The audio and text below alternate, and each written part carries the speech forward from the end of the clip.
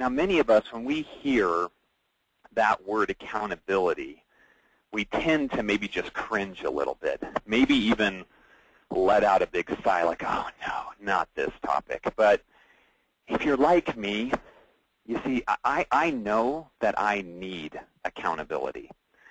I want to be accountable to myself. I, I want to be accountable to those people that I love and those people that I serve on a daily basis. I want to be accountable to my team here at Building Champions. I don't want to be that guy that when I walk in, everybody's like, oh, there's Dan, guy that overpromises and underdelivers. Um, that, that's not the label that I want. And so as I was thinking about this topic today, and I've had about, you know, a couple of weeks to kind of prepare for today's call, I, you know, I started to reflect just on the on the past few years as as my role as a as a coach and as a leader. Uh, before I was here at Building Champions as a manager in sales and even as a sales professional and, and a husband and as a father. And I was reflecting back and I thought about, you know, what were the different times where I really saw success and, and failure as it relates to accountability. And, and as I started reflecting, I started to realize that, you know, there, there are really certain steps that we all have to take in order for us to be accountable and, and to really harness that power of accountability in our lives. And when we take these steps, we can be more purposeful, we can be more intentional, and they will help you harness that power of accountability. But here's a caveat. When I came up with these steps, I realized that you really can't jump from step one to step four and say, ah, I've got steps two and three figured out or I've done that before. You've got to go through these steps in order. And so today I, I ask that you maybe just listen, not to agree or disagree, but just to learn, just to evaluate. And I invite you to, to put these steps into practice in your life. I'm, I'm confident from my experience as a manager and as a leader and, and my personal experience as a husband and as a father and as a person that wants to be purposeful and wants to be intentional in my life, someone that wants to be accountable, that if you put these steps into action, you're going to achieve success. Okay, so let's, let's get started. The first step in being more accountable and harnessing that power of accountability is for you to actually realize what is at the heart of accountability. And at the heart, at its core, is something really unique something really, I think, amazing, really special. You know what that is? It's you. It's that person that you see when you look in the mirror every morning. And you're either going to look in the mirror and you're going to see someone that is full of regret and guilt and just overall sadness because you don't do what you say you're going to do in your personal relationships, uh, for yourself, when you're at work, or you're going to see someone that's committed to knowing more about themselves. They're committed to knowing who they are at their core, and they're committed to being accountable to what makes them unique and special. And that's really the first step in harnessing the power of accountability. It's being accountable to yourself. You see, we can't be accountable to others. We can't be accountable to uh, our, our corporations missions and goals and vision until we're accountable to ourselves. Now you might be asking the question, well, what do you mean by this, Dan? Well, what I mean here, uh, guys, is that you've got to dig deep here. You've got to dig deep and really define who you are. And something that I believe, and I'm, I'm, I'm pretty sure a lot of you believe on the phone, we may have just forgotten it because I know I forget it sometimes, is that we all have gifts and talents and skills that we were created with that we have the awesome opportunity to share with those around us, with those that we love, with those that we serve. You have passions, you have dreams that make you unique. No one else has what you have to give. And so Accountability to yourself is the first step. How do you get there, though?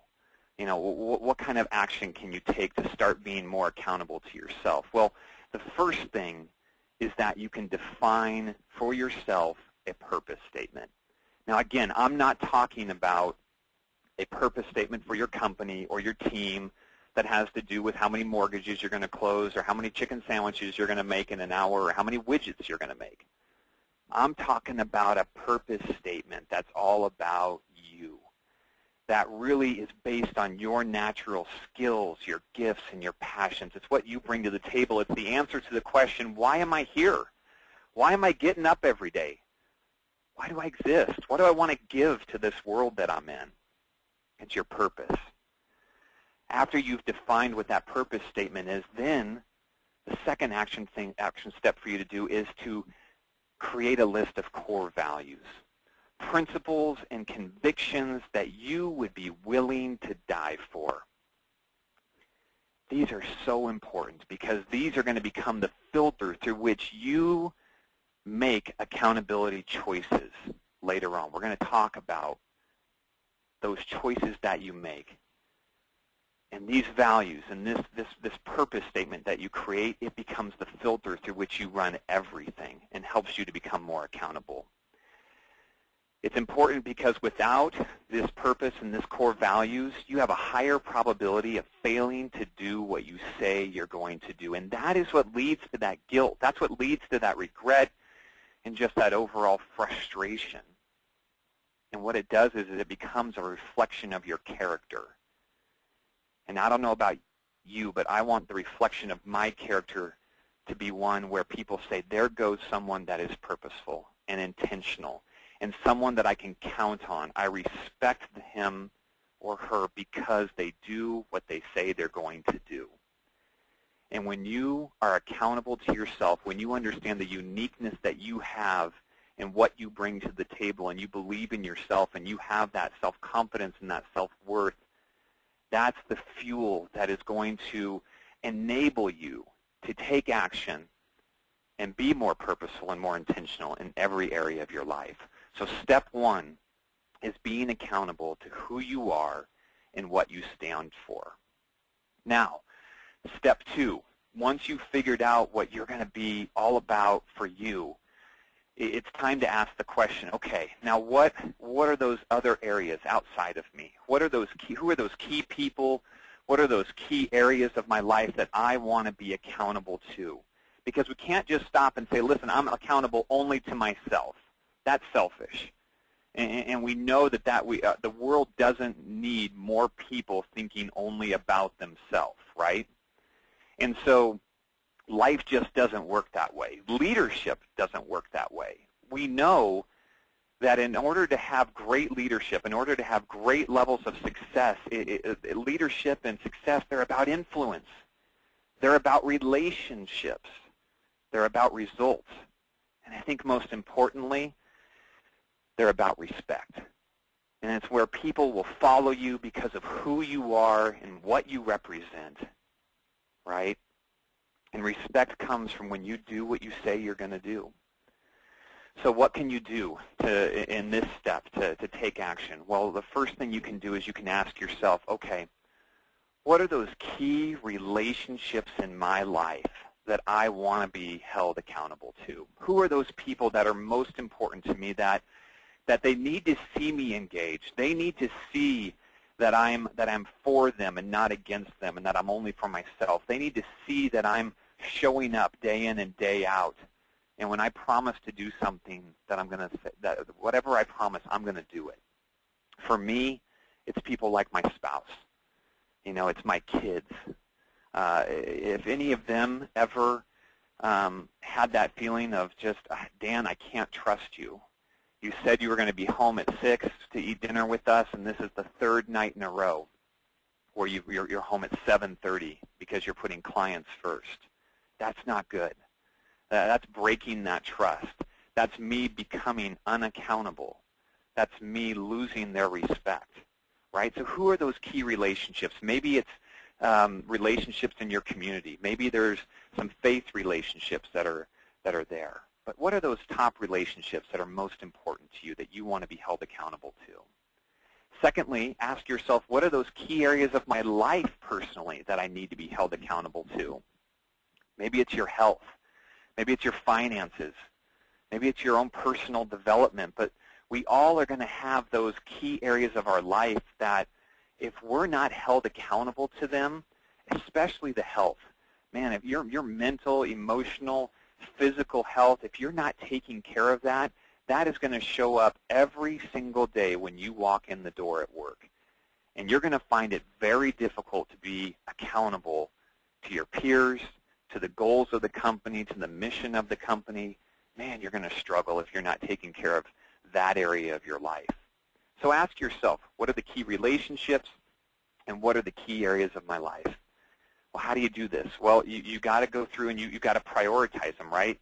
Uh, because I know if you're like me, I could probably come up with 20 to 25 different people and areas of my life that I, that I think are most important. Well, you got to take that list and you got to prioritize it and you've got to say, all right, I know that if everything is important, then what? Nothing is important, right? We know that. So this is really important for you to prioritize. Come up with about maybe 8 to 10 areas, people, accounts, if you want to call them that, that you really want to pour into and have some accountability around. Here's the principle behind this step and why this step is so important. And I learned this when I was a client of Building Champions, and the principle is this. Personal leadership always precedes team leadership. If you're a leader, this is so true. If you're an individual and you don't lead a team, then it's personal leadership precedes professional success. You see, you put a limit on your leadership capacity, your ability to achieve success when you choose to put your team or your success ahead of your own personal leadership.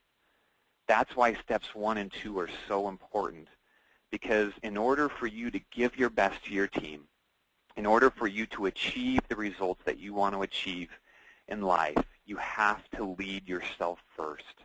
And that's what steps one and two are all about. All right, let's look at step three. Once you've um, you know, got it figured out in terms of how you're going to be accountable to yourself, once you've looked at those other key areas and those key relationships in your life that you want to be held accountable to, then it's time for you to ask the question, okay, now from a professional standpoint, what do I want to be held accountable to in my career? You know, what about with my team? What about uh, in my organization? And I'm talking about more than just income and recognition and market share here. I'm talking about the essence of, of your business vision here. And again, we're going to go back to some of those similar things that you did for yourself, and I'm going to ask you in this step, the action that you can take is to identify your purpose, your mission, and your values for the workplace and what you're trying to achieve with your team or in your organization or by yourself in your career. Okay, and basically what you're saying to everyone is, guys, this is who we are. This is what we're what, what I'm asking you to belong to. All right, this is our purpose. This is our mission. These are our values. I want you to be accountable to these in every sort of interaction you have with the clients that we serve, with our vendors that we work with, and with each other. And then you're going to identify what are those key areas of development that you really want to become together. And that's really what you're saying here. Who are we going to become? If this is what we're going to hold to, this is what we're going to base everything on in the workplace, well, great, what kind of culture are we going to build? How are we going to interact as a team? How are we going to interact with our customers? And you basically start to define who are we going to become together, working in sync, holding each other accountable, aligned to our vision. Who are we going to become? And then the third question to ask yourself is, okay, we know what we're going to belong to. We know what we want to become. How are we going to go out now and change the world? How are we going to go out and create raving fans? How are we going to go out and just have an impact on the communities that we serve? And you're asking yourself the question, what are we going to build together? As a leader, you want to invite people to share your vision with you can't just have the vision on your own. If you want to increase accountability in the workplace, if you want to increase your own accountability in the workplace, you've got to share your vision You've got to ask people to be accountable to something besides, like I said before, closing loans, making chicken sandwiches, building widgets, or serving a certain number of clients. Now, I want to give you just a quick warning here. A lot of people want to start at step three and bypass steps one and two because they they're they're they're all touchy feely. It's all about myself, and I don't need to worry about that stuff. Business is is from the gut, you know. No, it, it, what we've got to be careful of here is that you run the risk if you skip steps one and two of becoming a paper tiger in, in, in the business world. And what do I mean by that? Well, a paper tiger is something that seems as threatening as a tiger, but it can withstand a challenge that comes its way. And leaders, when, when, when you have a team of individuals that are accountable to themselves, that are accountable to the key areas of their life and the, the most important relationships in their life, and they're aligned around your company's vision, then you're no paper tiger. In fact, you're a force to be reckoned with. So don't make that mistake as a leader to where you say to your folks, you know what, we're going to skip steps one and two. I can skip steps one and two.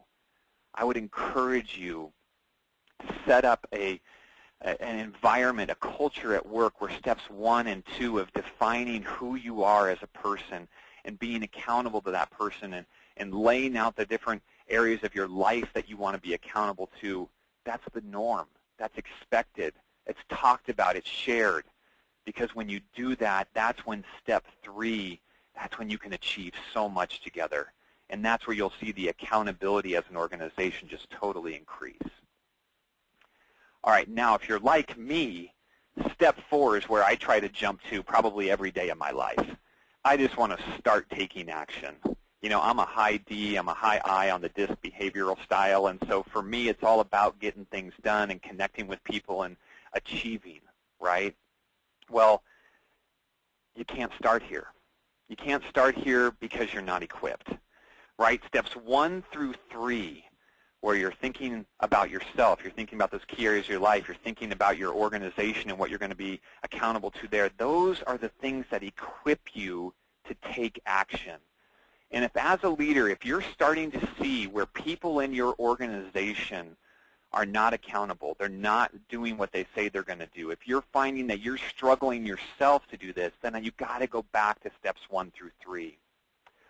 Because those steps equip you you, when you know yourself, you see, you know the right actions to take. You can choose the actions that are in alignment with your behavioral style. You can choose the actions that are in alignment with your purpose and your core values.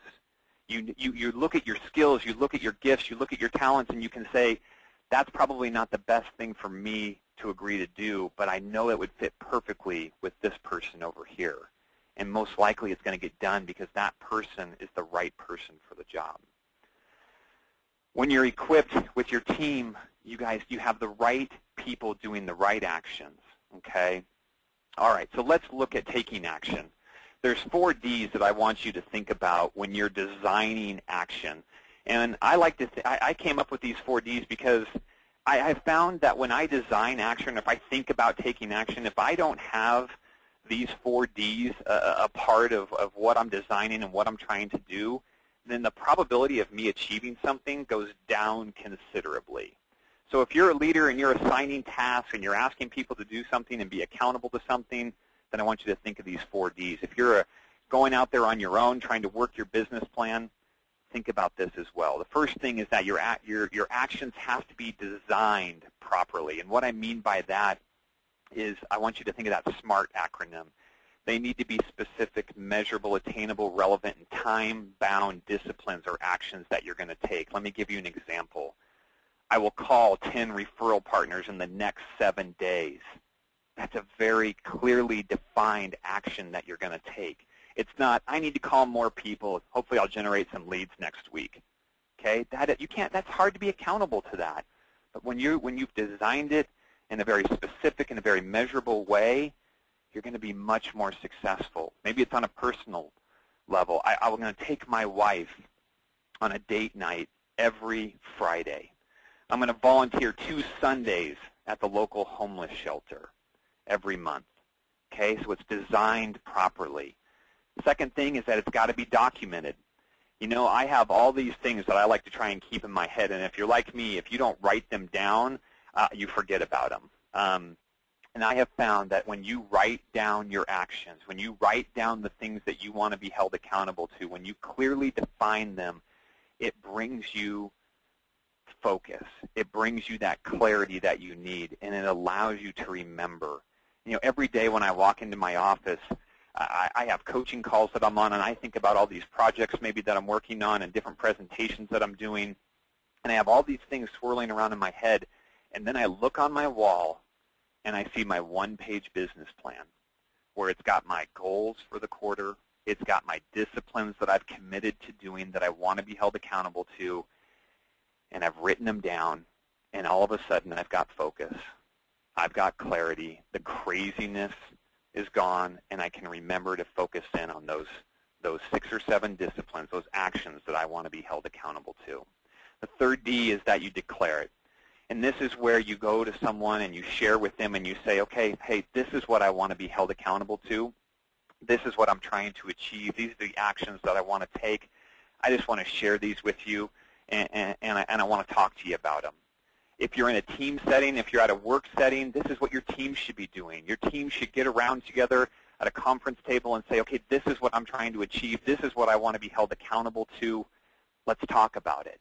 You declare the actions you don't just keep them inside. You just don't keep them to yourself. You talk to them with other people. And it's when you talk to them with other people that you hit the fourth D. And it's not just simply saying, hey, guys, this is what I'm going to do. The discussion part comes when you give someone permission to ask you about those actions, about those goals, about those things you said you wanted to be held accountable to. You give someone permission to encourage you and challenge you and stretch you so that you can be accountable to those disciplines. All right, once you've designed action, probably the most difficult step is to now take that action, take those things that you want to be held accountable to, and decide to start putting them into your schedule, to dedicate time every single week to doing it. And many people, you know, they just approach their day with whatever comes. And this, folks, is where the tyranny of the urgent just loves to live. And the result of living a life constantly in the tyranny of the urgent is a lack of focus. It's a lack of being purposeful and intentional. And it's a failure to be accountable. If you are a leader and you have a failure of accountability in your organization, most likely it goes back to the fact that people are not scheduling their weeks, planning their days, filling their time in their day with the activities that they need to do in order to achieve success. All right, so how do you do this? Now, I just wanted to give you a couple of very quick things that you could do, very simple actions that you can take. And the first one, to be proactive with your week, is to plan your week, okay? And that seems simple, but I, you know, here's what I do. It's a best practice that I coach my folks on. I take one night a week and I plan my entire week.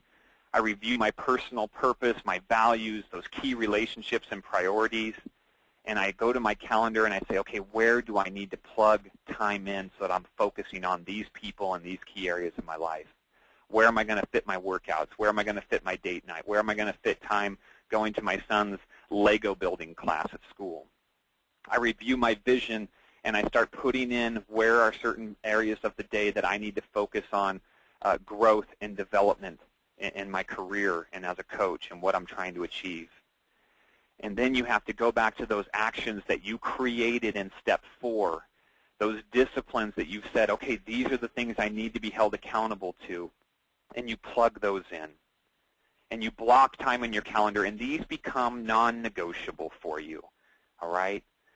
The next step is to share that schedule. Don't just have it on your computer, print it out and look at it and think, oh, that's nice. I hope it works out. Share it with someone, your assistant, someone else in your office. Post it on your door. Let people know what your schedule looks like. Let them know what you're accountable to. Let them know what your non-negotiables are. okay, because that gives them permission to do the same thing, and that creates that culture of accountability. Then you don't have those door knocks where you say, hey, you got a minute? It's like, no, it's on the door. I, I'm prospecting right now. I'm in a one-on-one -on -one coaching session with a teammate right now. You know, I actually know I'm leaving to go home and so I can go to my kid's soccer game right now. You give permission for there to be that culture of accountability. And finally, at the end of each day, reflect on your schedule. Reflect on your day and just do a simple keep, start, stop. What worked that I want to keep doing? What did I not get to today that I really want to make sure I, I start doing in my schedule? I need to start saying no. I need to start saying, no, sorry, I've got an appointment during that time. And what are the things you got to stop doing that just that took you off your schedule? All right, the final step in becoming more accountable and harnessing that power of accountability is to commit to an accountability partner. This has got to be someone you trust, someone that you're willing to have challenge you, someone that will encourage you, someone that, like I said, will stretch you. Leaders, this might be you. You might need to add one-on-one -on -one coaching to your leadership disciplines. And you know, we actually did a quick survey that we took as we sent out the invitation for this. 58% of you said you have no one to hold you personally accountable in your personal life. 33% of you said you have no one to hold you accountable on the professional side of your life. So leaders, this might be a huge opportunity for you with you and your team. But let me say something to those of you right now that really don't have anybody that's holding you accountable. If you're represented in that group, do you believe that you could be more purposeful, more intentional, and accountable with an accountability partner? See, I believe that you could be. And I know here at Building Champions we believe that you could be as well. We believe it so much that it's really how we've designed our coaching process. We've designed it in a way that we focused on what's called the core four. And in the core four, we have this thing called a life plan, where the life plan has you identify your purpose, your values, those key relationships that you're going to be accountable to. We walk you through a business vision where you say, okay, what is the company's vision? What is our purpose? What is our, our values? What are we going to belong to? What are we going to become? And what are we going to build together? And then we have a business plan that we walk you through where we have you write down goals, write down specific disciplines that you're going to take on a daily, weekly, monthly basis to help you be more accountable in the workplace. And finally, we have our priority management plan, which is just what I talked about. It's scheduling your week. It's making sure that you've got your priorities, you've got your disciplines, your goals, your to-dos, your projects. It's all in there. It's at the heart of what we do every single day in the coach's chair is we help people to define who they're going to be accountable to. We help them discover the wonder, wonderful, amazing um, person that they are inside that they have to be accountable to first. And then we help them build that vision for where they want to go. It's at the heart of what we do every day. So let's review those, those, those six steps just real quick here. Step one, you've got to be accountable to yourself. Step two, you've got to be accountable to those key relationships and those key areas of your life. You have to identify what you're going to be personally accountable to. Step three, who and what are you going to be accountable to at work? What are you going to ask people to belong to and become and build together? And then you've got to take action, but you've got to design that action in the right way. It can't just be generic statements. It has to be specific, measurable, attainable, relevant, time sensitive, right? It's got to be documented, got to be discussed, got to be declared. And then you plan your week. You plan your week based on your priorities. And finally, you get an accountability partner. And maybe that accountability partner for you is your leader. Maybe it's a peer, maybe it's a mentor, for many of you, you might not have that person. And if you want to know more about what we do here at Building Champions, then I want to invite you to engage. If you want to know what it's like to work with a coach, just drop us an email at info at buildingchampions.com, and we'd love to talk to you more about it. Look for some accountability tools uh, in your email. Next month's webinar is going to be the seven deadly sins of sales professionals, and then in April we're going to be talking about leadership development. I hope you found these six steps helpful for you. Again, if you want to know more, engage us. We'd love to talk with you. It's what we do every single day. You were made for a purpose. You are an amazing individual that has so much to offer to this world. Discover that for yourself, and then you can start being accountable in every other area of your life, personally and professionally.